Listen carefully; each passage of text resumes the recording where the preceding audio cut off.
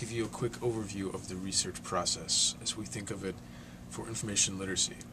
Uh, you know, this applies whether you're doing like writing a paper, doing a speech, any kind of project, and you need to go out and find information. So, uh, number one, you have your topic, whether it's like your research question or your thesis statement, and there's various ways to you know narrow that down and get an angle, a handle on that. Uh, then you're searching for background information, so that could include like looking in uh, uh, uh some databases for uh, encyclopedia articles, that kind of thing.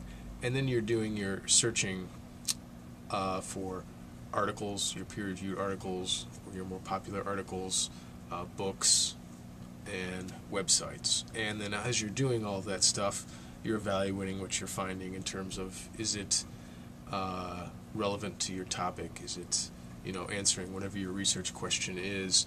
Is it, uh, you know, and also is it credible, a good source? Uh, especially if you're on the internet, you know, you want to evaluate what you're finding. Uh, and then you're, you know, in general, you need to cite and manage what you're finding. So as you're out in the databases finding articles and finding books, uh, you want to cite them, you know, whether you're doing the MLA style or the APA style.